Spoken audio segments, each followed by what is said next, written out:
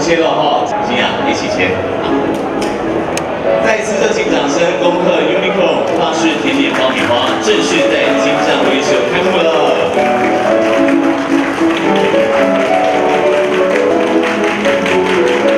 再次谢谢我们的董事长，谢谢。那请回座休息。亲手由你发送他爆米花给他们吗？嗯。不过爆米花在哪呢？你要制作给他们，对不对？所以现在安心雅要正式进入我们 Uniqlo 的这个后场喽。有请安心雅来，是。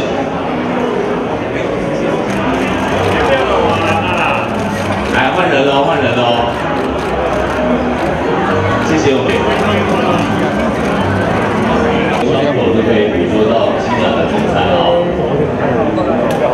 好，那今天真的是非常称职的一日面长。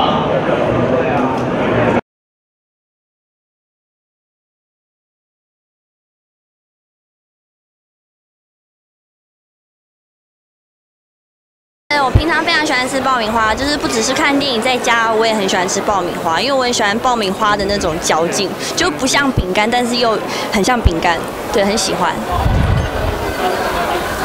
呃，我会很怕热量太高，可是我觉得就是吃零食，就是女生就是打发时间啊，或者是就是会很想要去吃零食，我觉得这难免的。但是就是多运动啊，所以如果吃爆米花就是多运动，然后也可以督促自己，就是呃可以呃适就是呃定时的运动这样子。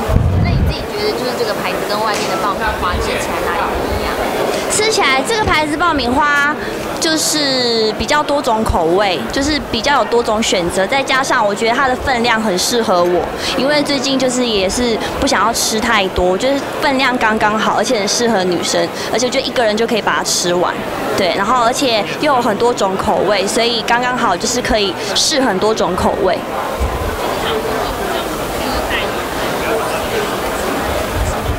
啊。知道什么？最近很忙。呃，其实因为我之前休息的也够久了，所以我就现在开始已经有，呃，之前已经有养好我的精神，所以现在开始忙碌就还蛮适应的。对，嗯。所以心想，像你看电影的话，你会习惯只买票，还是也会买一些爆米花或者是饮料？